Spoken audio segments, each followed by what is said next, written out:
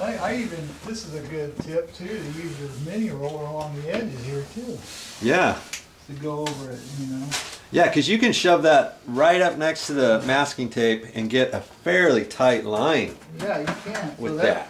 That's another step, because sometimes when you're brushing, you could miss a little area, but Yeah. like I say, when you take the tape off and you're, you got everything exposed, you get the light on it, and then you run your bead of caulking and you do your final detail work around the window casing, uh, you can really dial it in nicely because everything's exposed to it. You get the light on it, and then you do your bead of caulking, which is usually your final step on painting around a window.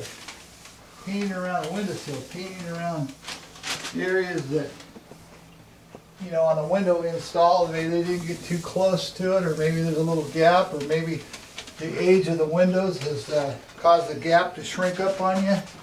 Uh, caulking sometimes shrinks, so it's just a, a little small uh, solution with the caulking to run a big, big bead along there, small bead along there, and just makes it a real nice finished look. Yeah. And that's the thing. Did you hear what he said? A small, tight bead.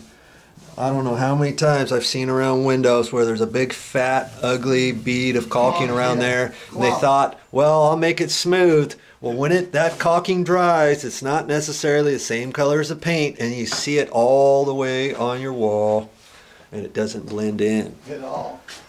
at all, or you Yeah. see the edge of it because they didn't wipe enough off. Yeah. All right, small, tight beads around your windows, and you'll be good to go. Thank you.